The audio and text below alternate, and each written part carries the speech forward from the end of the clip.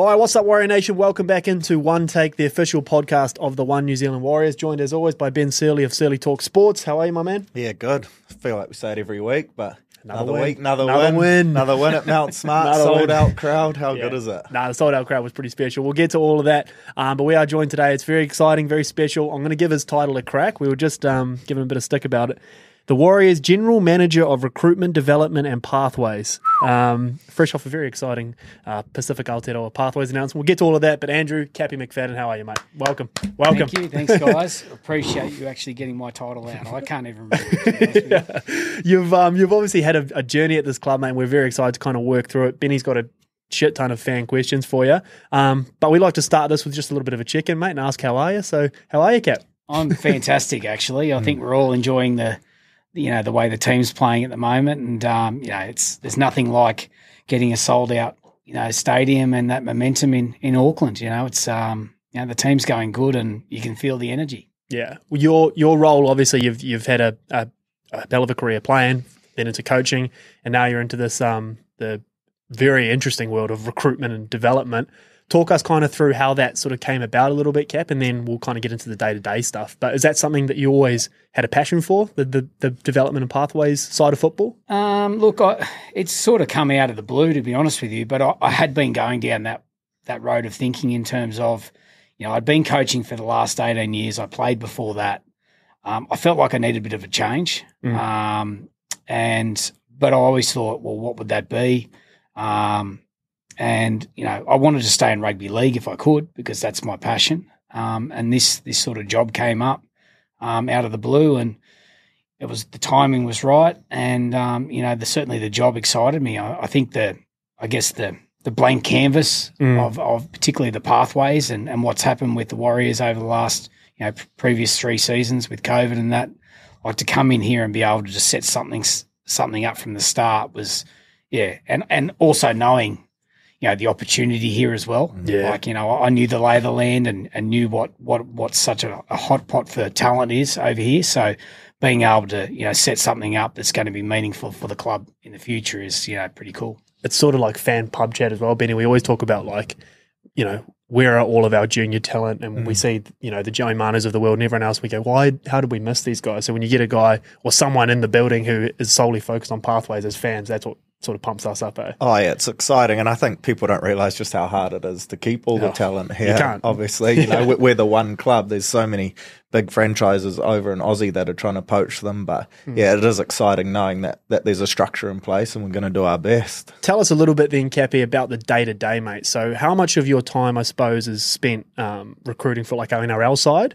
Is that part of what sort of the role encompasses as well? Versus how much are you down there sitting on the hill at you know New Lynn trying to find the next uh, superstar sixteen year old? What's kind of the balance in that? Because it seems the title's vague. so Yeah, that's why I'm asking. Well, they're two completely separate sort of Yes. um, you know jobs. So you know I got to balance my ti time between the two. Um, sometimes you know the NRL stuff takes precedence, and next minute I'm I'm sort of my work is driven towards that, whether we need a player or something happens. Um, at the moment, most of my time is spent on the pathways. You know our our NRL squads, you know, pretty locked in. Yeah. Um, you know, there's a bit of movement for us, but you know that's you know, and and it's it's a bit of a slow burn recruitment to be honest with you, because you know when you go to identify a player, sometimes that's cut down very quickly, or sometimes the opportunity um, you know can go further. But you know, there's always a process, and so um, but the pathways is probably what takes up a lot of my time, particularly you know with the addition of these new teams next year.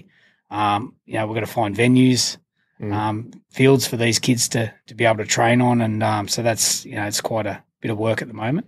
As Kiwis and, and Aussies as well, we love winners. Do you find that with the club's success at the moment, it's easier to have conversations with be it professional players and agents or parents and kids about joining the Warriors pathway and maybe getting some rugby boys to come across things like that? Yeah, there's there's no doubt the momentum of the team at the moment helps this. Yeah. Um, you know, people, players generally want to go to a successful environment, and if they see it succeeding or you know there's an energy around, they, that's what they get gravitate towards. Um, so there's no doubt that that that, that helps our our space, and uh, there's certainly um, a lot of excitement. So it's good. You mentioned that the like the different ways that can go. It can either get shut down immediately or it's a slow burn. I'm fascinated by the process. So if talk us through, Cappy, say that there's a player who you've identified the Warriors, let's think NRL now, can use this guy. Is that a conversation where you go to, um, and he's free to negotiate, whatever that may be? Do you go direct to player? Do you go direct to agent? Do you go direct to club? Does it vary? Like, what's kind of the process? And then how do we get from initial consultation chats with maybe coaches or whatever into someone inking a contract? What does it, how does it look? Oh, look, sometimes it can be quick as well. Like, Yeah. but you we know, want him. He wants to come here. Bang. Yeah. That's it. Someone, you know, the motivation of both parties is good, and the, and obviously the money Yeah. is the, bit, the bit as well, and and that sometimes can all connect and bang, it happens quickly. Yeah. Um, but you know, probably at that top end, you know, the the marquee sort of players, you know, if you want to try to It's a to find process, someone, yeah. it's a process. Like, you know, they've got to want to come here. We actually want players that want to be a warrior and, and really immerse themselves into the team and the culture and the country. Mm. So um, not everyone's like that. No, not everyone wants to do that. So it kind of starts with those conversations first. Um, do they fit in our squad? Yeah. You know, do they want to come here? And then it's a, you know, then it's a process after that. But you know, sometimes the process can last six months. Um, other times it's two days. I wonder as well, Benny, like, or Cappy, how much of that is the focus is also on the person? Because I know we always, or we've been, how many weeks we've been sitting here going, Father Warriors just looks like such a fun team to be a part of now. Everyone's like, do you know what I mean? Yeah. Attitude wise, there may be a superstar on the horizon or a, some gun player. How much of that balances, but is he the right bloke for us? Because I know that that's anyone, well, not anyone. A lot of people can identify raw talent, but finding, like you mentioned, that fit. Um, that's obviously just come with experience, and Yeah. that's why you got the fancy title, I suppose. yeah, look, it's an important dynamic. Yeah. You know, you, you've got to have good people. yeah. Uh, most people are inherently good. Yeah. Most people And- at footy are good. You Yeah. find there's, Yeah. there's, you know, not everyone, but And and but you've got to remember, none of these guys are choir boys either. You Yeah. know, there's these They're guys are they're they're they're- they're risk takers. They Yeah. are they want to they go out there on the field because they it goes with the job, eh? it does. Yeah. So, um, and we don't want choir boys. We want people that are you know they they can have a few rough edges Mm. because that's actually makes them what you know who they are. So. Love that. But certainly they've got to have an inherent goodness, and probably the biggest thing is they've got to be team first people. You know, people that when it comes down to the crunch, that they're always going to put the team above themselves. So um, that's probably probably the the biggest attribute you can have as a player. Our um, one of our favourite sons in this team. As soon as you said team first, all those attributes. Charnze Nicoll-Klokstad, who's come to the club this year, is a guy that probably I know you've had a relationship with previously, but he kind of is the perfect example of that, isn't he? A guy who just bleeds it. That's right, and you know, and that's why people love him. You know, he every week he puts in his best effort, and you know, he is a team first player, and you know, you can see what he's contributing at the moment for the team. Diff- biggest challenges with the role, Cappy. So I know you're probably not, you know, you're still kind of working your way through it, and the club is still trying to work its way through this pathways thing, whether it's the junior teams coming in and all that. But what what have you found has been your biggest challenge with the role so far? Because luring talent to New Zealand, as we know, has never been super easy for this club historically, anyway, Benny. But what has been your biggest challenge in the role so far? Um, probably. I mean, it's it's it's it's an expected challenge to be honest with you, but it's still challenging in the fluidity fluidity of of Hmm. of recruitment. Like you can have a plan, but none of those things come to fruition. So you've got to have a plan B, C, and D, and you know you just got to be able to to move, and it moves all the time. That's what rugby league. But I've I've got experience in in the game now, and I so I kind of I'm aware of that. Hmm. So, but that's still a challenge. I like to get all my ducks in a row, um, but it doesn't quite often work like that. That's probably where the competitor in you comes out as well, because you, Yeah. you were a player, you've been a very successful coach. I mean, you've got to kind of have a bit of that in you in your role, don't you? You do, you do. Uh, You got to have a passion for it. There's no doubt about it, and uh, I think that's probably the great thing about this club at the moment. We've got an owner who's passionate about it, and all the people around are passionate. And you've got to, you've got to bring something to the organisation. Is there that still there's going to be a thousand fan questions like it but i may as well just get it out there now is do you still have that desire to coach is coaching still something that I- know you're very obviously you're all in on this role now does that desire to coach still burn at all in you um, is it something that you're still interested in enjoy or think about Not at the moment, No. to be honest with you. I, in in terms of like NRL coaching and Yeah. all that, um, I love coaching. You know, it's a you know it's something I've always enjoyed. Um, I get I guess I get to do it a little differently now. Like part of my pathways role is to um, provide support for player development and whatnot. And part of that is to develop coaches. Oh, cool. So coaching coaches is probably where I'm going to go now, um, as opposed to the actual coaching of the players. So yeah, look, it's it is um, yeah something I'm very passionate about coaching, but you know that sort of part of my life at the moment I'm putting on the back burner. Mhm. Maybe down the track I'll want to go back there, but at the moment I'm enjoying the role too much.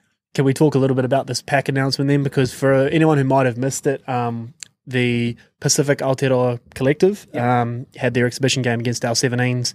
Uh, the curtain raiser out here on Saturday. Benny and I were down there. It was Yeah. a heck of a game. Good Seeing- footy, some big shots in there. They weren't small boys. Jeepers. Um, there's, there was some None of athletes. these out there. guys are some I'm glad I was watching. Yeah. Yeah, I'm glad I was watching. There was some athletes out there, mate. Um, talk to us a little bit about what that kind of encompasses for anyone who might have missed the announcement itself, or what um, our partnership with PAC kind of looks like from a Warriors perspective, Cap.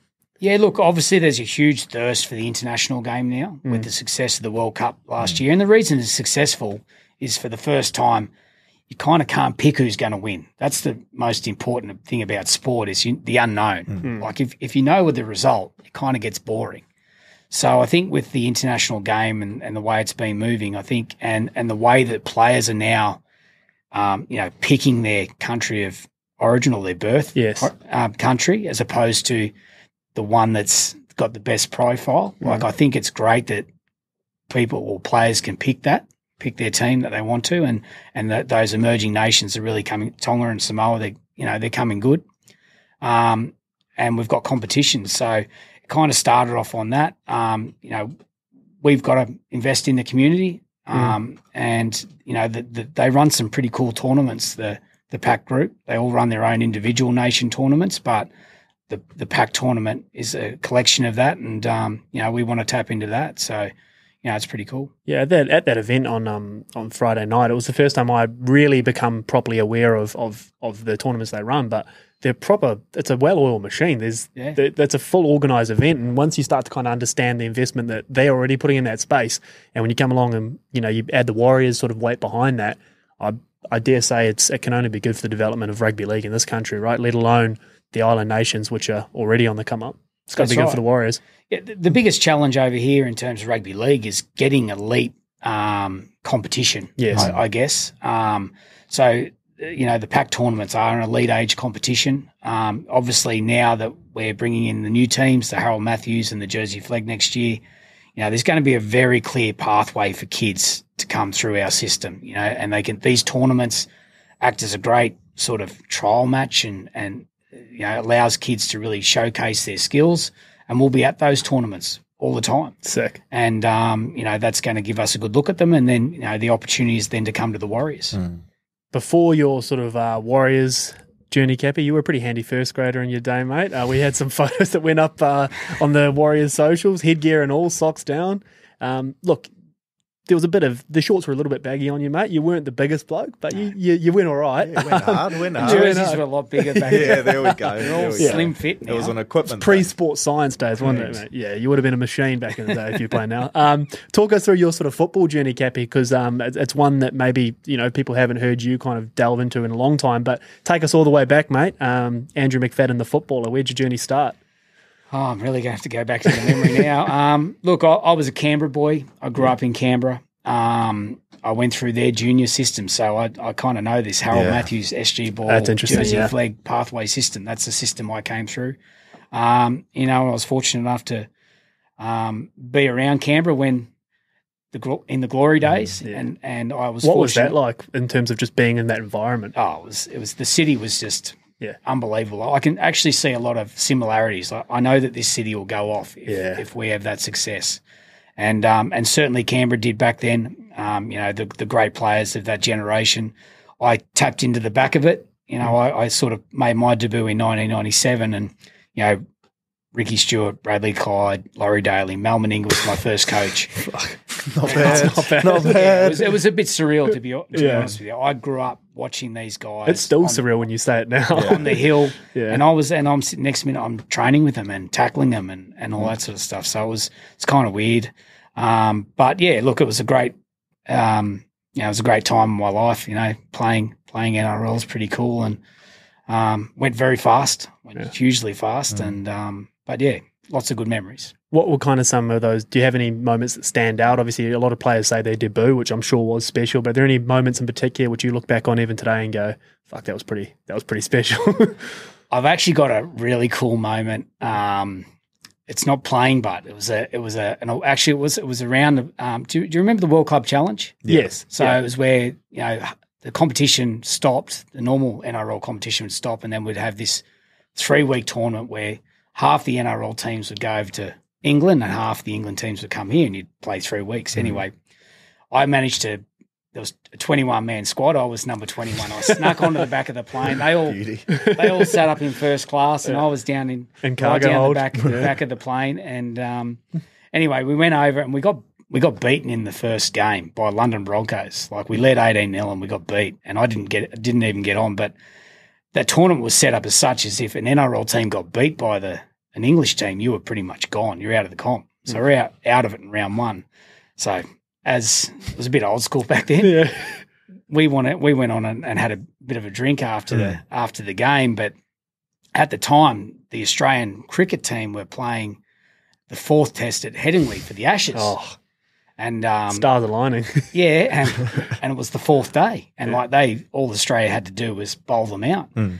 and uh, so we got dressed up in you know fancy clothes and wigs and stuff like that, and we end up going to the cricket, and as it turns out, they they um they bowled England out by lunchtime, and next minute we're in the in the sheds with the Australian cricket team. This. Is, this is the again surreal moment. This is the Australian cricket team when they were at their peak. Yeah. This is Warne, you know, Gilchrist, you know, the two Waugh brothers, Some characters and some characters, legends. Ponting, Yeah. all these guys, and there I am with a wig on. I've got all these photos at home. I've got this orange wig on, this pink frilly sort of dress, and there I am. You know, I got my arm around Jersey number 21, guys, yeah. and, and I'm, it's, you know, I'm, it, it is surreal. Like that, I was, I've got this great photo at home with me and Shane Warne giving the bird. so um, That's the best. yeah, yeah. that's a pool room. Yeah. for it, sure. it, it Man was. cave, Yeah. blow it up on the wall. Yeah, Oh, so that, in terms of playing, I had yeah, Yeah. lots of good moments, but um, yeah, just playing with those guys like Laurie Daley and that that was pretty cool. that's kind of a lot of a lot of people who we've had on. Monty was another one. He had all these amazing football memories, and it kind of took him three or four stories until he got to one that was actually on the field. He just spoke more about just kind of being around those great Yeah, sides, locker room and stuff's locker room stuff, yeah. and he was around guys like Ali Lauitiiti, and similar to you, around guys that he looked up to. And then all of a sudden, you're out there playing with them. It's it's pretty cool. Yeah, well, they're just they're just blokes at the end of the day, they're humans, and like you, you, you build them up, but then you go and meet them, and they just they have the same normal conversations. Or you and tackle them and you go, oh, right. not too bad. not too bad, yeah. yeah, yeah. So um, pretty cool. I did like when I was playing. I do remember a couple of moments, particularly in first grade. Like I, I took over from Ricky Stuart. I don't know if you remember Ricky Stuart as a player. He was all right. Yeah. Yeah. He went Handy. all right, but he used to have a, like a, a pass. He, he put on a dime, Mm. thirty meters. He'd just go straight across the field. And Laurie Daley obviously sat out Ricky outside Ricky Stuart for you know a decade. Mm. And uh, then I came in to play.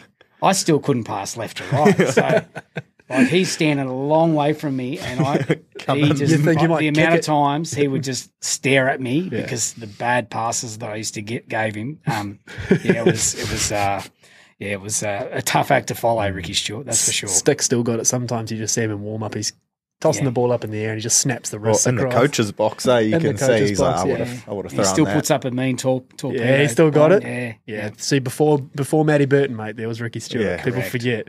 Um, was it always your desire to coach, Cappy? Obviously, you had a, a, an amazing playing career, and like you said, played with some incredible guys.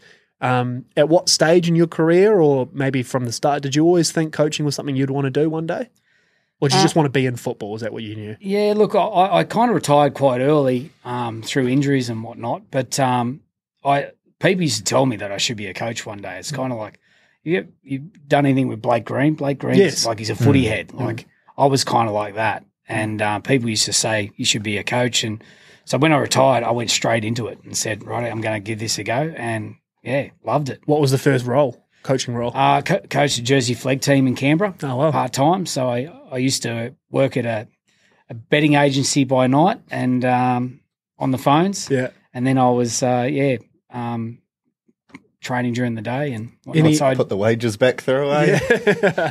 any, um, any players from those Jersey Flegg days? Any names that sort of ended up kicking on in those early days? uh, yeah, I had a couple. Michael Dobson. Do you remember Michael Dobson? No. He played first grade. Um, William Zillman. Oh yeah, Zillman? zip zip. Yeah. Yeah. So there's a few of them there. Um, yeah, I, the, the second year I came back to Canberra, so I, I coached in Canberra uh, for a couple of years Hmm. in 2005 and 2006. Then I went overseas to France and Hmm. coached the great Stacey Jones over there for a couple of years. That would have been fun. Um, again, a surreal moment when Yeah. you're you're younger than one of your idols. Yeah. and, and you're coaching Yeah, them. that's So crazy. and then uh, came back to Canberra, and I, I I actually coached a really red hot team, and that's when Josh Dugan, Mm. they were Jared late, Croker, early Toyota Cup sort of days. yeah, yeah. yeah, yeah. They were special. I think back as well, Bodes is nodding his head because that was the years when the Warriors and Canberra and I think Brisbane was another Yeah, very Brisbane. strong team. yeah. But There's that a was bit of a rivalry there. yeah, eh? there was. I think did, did Canberra win the first Toyota Cup? Yeah, or- they won the orig- the, the inaugural one in Yeah. 2008. and then we won the following year. Yeah. Yeah, yeah. No, Yeah, they were so I- special teams. So I remember, yeah, coaching in Canberra when the Kevin Lockes and the Shaun Johnsons Yes, and, Benny and the and all that sort of stuff were Yeah. all coming through. So, yeah, pretty pretty good group of players. Was um, let's jump forward then. How did the uh, Warriors come onto your radar, and how did you end up initially sort of landing yourself here, Cap? Um, well, I was I was ready for a change. I'd I'd been coaching in Canberra for four years. Um, I'd had Matthew Elliott as a coach. So Matthew Elliott had just been announced as a coach here. I'd had him as a coach before, so I already had a relationship with him, and there was an opportunity to come over. And um, yeah, like um, I guess had a great time in France and just seeing a new culture, new country. It was it was the right time for me and my family, and so we I had a two year old and a five month old, and we we Wow. made a snap decision. It was all done in sort of two or three weeks, and, and we were over here. So Like you said, if both parties are keen, it's not that hard. it's not. That's right. So both parties are motivated. Yeah, Yeah. So we did that, and uh, yeah, it was. I had a wonderful six years. 2014, obviously, you were thrust into the, the top job here, which is kind of what probably a lot of fans remember Andrew McFadden as, as being the Warriors head coach. Um, what do you remember kind of about how all that went down, Cap? Because obviously you had a relationship with Matty Elliott. And what do you remember? Do you remember that period vividly? Was it all a bit of a blur? Or, I mean, how was that kind of that year specifically, 2014? Yeah, it was no, a, it was. an I interesting remember, one. I remember that initial, um, you know, that changeover very well. I remember I was I was at the Novotel in in um, Sydney there, just near the airport, and Matthew came in came in and said, "I'm gone." I said, "What do you mean you're gone? Where are you going?" And he said, "No, no, I'm gone." I went, "Wow!" And it just it all went from there. And you know, I had to come back to the club, and they told me I was going to be interim coach, and it was a whirlwind week. And then it was all the press, and I kind of didn't really have time to prepare myself for it. It was Yeah. just bang, it's happened, and I had no idea it was coming. It's crazy, like because as a fan outside looking in, you always just assume that people know these things yeah, are go, going oh, on. writing's on the wall. He's, Yeah. yeah, Cappy's ready to go. Like, it's. But it's weird, like that you find out literally as we find out sometimes. That, that's exactly Wild. how it happened, and um, yeah, it was so those those early games. It was just like I was just trying to keep my head above water, to be honest with you. And um, yeah, look, obviously, head coaching is not that easy to get. I didn't have a huge profile then. Like I'm not, I'm not re- really one to self promote or or push it out there. So it's kind of like, do you want to take the job? I went, well, I'm going to give it a crack. So yeah, it was great. You 2014, you were thrust into the top job. Obviously, your first win as a head coach. Do you remember it very well? I remember it. Oh, Uh, it's it's coinciding with the It's game. coincided, Yeah, mate. it's a eh? historical First win one, was uh. Anzac Day in Melbourne. It was actually the only the second time the Warriors have ever beaten um, Melbourne in Melbourne on Anzac Day, and the last time. What do you remember about that game, mate? Because like you mentioned, the first few days, hours, weeks, I can imagine your phone's blowing up. You're just trying to, like you said, keep your head above water. All of a sudden, you go to Melbourne for Anzac Day. There's even more theatre and more media and a whole lot of noise, and you get the win. What do you remember about that game, mate? Oh, look, I don't remember too much other than the win, to be honest with you. Um, yeah, look, it was it was obviously I was still yeah deep in it and just trying to keep that head above water. But but um, I do remember the build up to the game and how well they do it Yeah, in in Melbourne. You know, and the the you know it's really classy what they do there, and you know it's such a great atmosphere and you know a lot of respect there and. Um, yeah, but I do remember the game. I remember specifically a David Fusitu'a, you Yeah. know, whole body over the sideline. He did that and- a few times, trying to- yeah, yeah, yeah, yeah, But that was almost like I was talking to someone the other day, and they reckon that maybe that was the first one where he's kind of he's gone. Oh, I can took it to another level. I can launch from here. I can launch from here, and I'm just going to just put the ball in that bottom Yeah. corner. So I remember, you know, Shaun come up with a couple of key moments that game, and yeah, we got over the line. It was it was a nice one. He scored the try, didn't he? Shaun, yeah, Shaun Yeah. scored kind of the ceiling. I think. Hmm. Well, we've only won twice, and Shaun's been a, probably a big part of both of those games. So You never know, Benny. You never know. You're feeling good, Good about feeling. this. Yeah. Good feeling. Um, putting your coach's hat on just for the last second here, Cappy, before we get to some fan questions. Um, this club, this clash, sort of specifically, were you to be talking to the boys? Because we spoke to Jazz yesterday, and he kind of spoke about how occasionally with these, that is such a big occasion, the Anzac game, he kind of plays it in his head before out before he gets out there. What would kind of your message be to the boys around? Yes, enjoy it, and I'm sure you know, like you said, it is a special occasion. But how do you then go? All right, Mm. shift it back to neutral. We got a game of footy here to play because that can be a. I can imagine as a coach that'd be the hard balancing act that Webby's going to have to work through this week. Yeah, it's a it's a really good question actually because mm. you can overplay the mm. answer. The, the the occasion will take care of itself. To be honest with you, the atmosphere will build regardless. So you don't actually don't as a coach, and I've made the mistake of overdoing it, trying to use the the the Anzac occasion as motivation To get a bit extra, to get yeah. a bit extra, but you actually don't need to because it's already you know people understand Mhm. and and the occasion takes care of itself. So it's probably more about being relaxed this week and just enjoying the experience. You know, that would be my advice: is don't overplay it. Like it's it's it's an unbelievable unbelievable atmosphere, and you know enjoy the experience. You know, hearing the last post, you know, pre-game, it's Yeah, it's special. it's eh? got its own moment, and just enjoy it. Enjoy that moment and and and the and the part you play in that game, and you know, try to keep relaxed. You don't have to oversell it. Yeah, and Melbourne do Melbourne are a very good side. Craig's a very good coach. They'll be doing exactly that. So I think that's probably good and I- I think that's probably where you know coaches have gone wrong. I certainly did. I'm, Mm. I was on the, we- I did win my first game there, and Yeah. that was you know just probably by chance to be honest with you, because I, I copped a couple of floggings there too. So um, you know it's a it's a hard game to win. yeah. All right, Benny. Fan questions time, mate. We got a thousand, so let's start ripping through them. Cappy. yeah, well, Um, we we just had the SJ Yeah. talk there, so let's kick it off there. A few people have asked, Shaun, 2014 to 2016 compared to now, what kind of similarities and differences do you see in his game from when you were at the helm compared to modern day SJ? He's playing as good as he's ever played right now. Mm. Um, in that 2015, 14, 15 year, particularly 15 before he broke his leg, Mm. um, he was doing some crazy things. Like he was just unstoppable. Mm. Um, he's different now.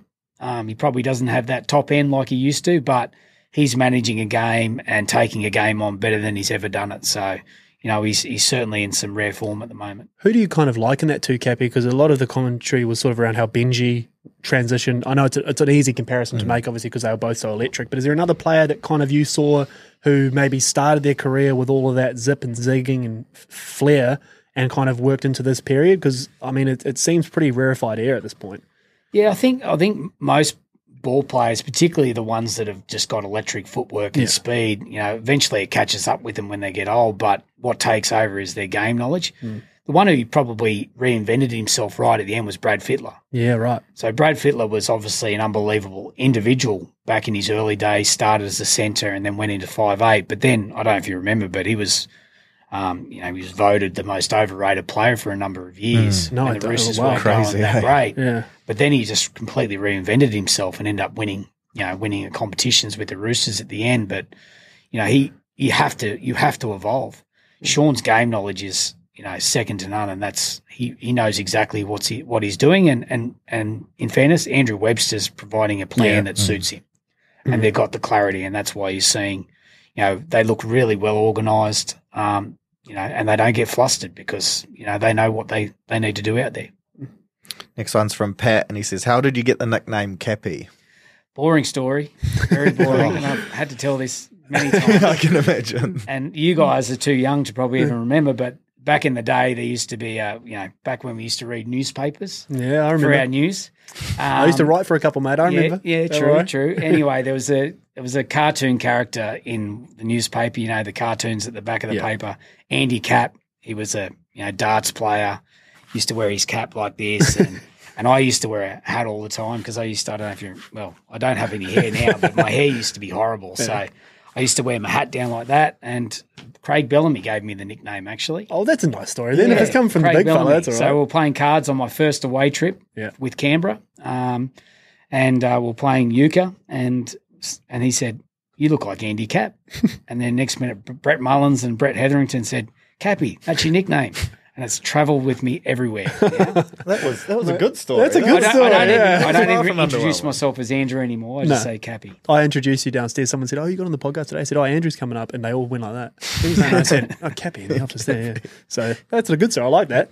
A few questions. Uh, what does it take to become an NRL player, and, and what are you looking for in young players these days? What kind of attributes? Probably come from a sixteen-year-old. Oh, there was a handful of them. I think a few parents as well, hopefully looking to push Yeah, their kids. look, as a as a player, if you want to rise up, you've got to stand out. You got to, and you've got to figure out what you stand out for. Like you can stand out for a number of things. You can be stand out because you're six foot twelve, six foot eleven, I should say, seven foot. seven foot. Yeah. Anyway, yeah. Um, you know, you can be you can be tall, you can be big, but you got to and have a big carry, but. th- That might be what you stand out for, but if you're small, what are you going to stand out for? You know, you could be a really good tackler, you could have unbelievable skill, footwork. You've got to stand out. You've got to be able to be noticed. That's mm. how you. That's how you rise up the ranks. You know, not everyone can do it, but you know mm. that's that's how we we identify people. Mm. Was it a surreal moment for you coming back to Mount Smart? Did you ever think you'd be back at the club? I have them all the time. I have these nostalgic moments where I go, I can't believe I'm I'm here again. Like I have very fond memories, and I, I watched the the boys' captains run the other day before um the Cowboys game, and I was just walking around going, I can't believe I'm here again. So it's uh pretty cool, but yeah.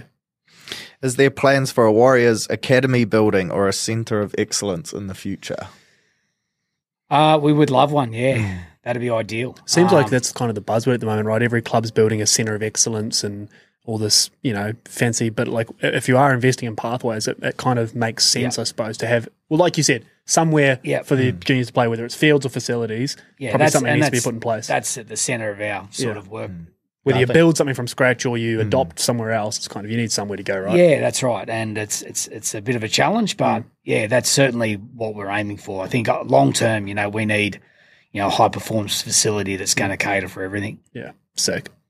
Are we still chasing a marquee prop signing? That was from Mo. Yeah, there's, there was a lot of people just straight up asking, "Who are you signing?" Yeah. Yeah, yeah. Or when are we getting Joey? There's Uh, look, you know, there's there's definitely some space um, to to get some marquee signings, and and, and probably a marquee forward Hmm. is is one of those. Um, but we're just working through all that at the moment. I know that's probably not going to satisfy Those the- coaches the speak there, mate. You just went right is, back I into know. type. I know, I know. You I don't like to. to give too much away, to be honest with you, but um, yeah, there's certainly some some nice nice things on the horizon. I think some people will get some some um, yeah, there'll be something coming out pretty soon that will be yeah they'll they'll enjoy. Good.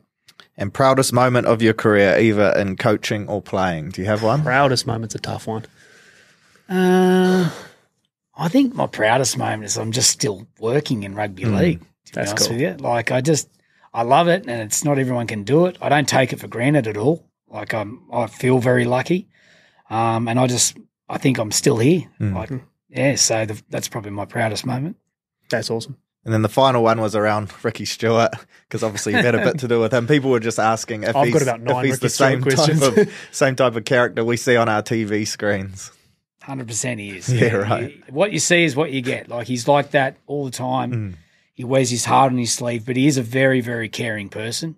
So, and that's why he's and very competitive. He's probably I am very competitive, but he's got me covered well and truly. Like when he loses, he sulks. Mm.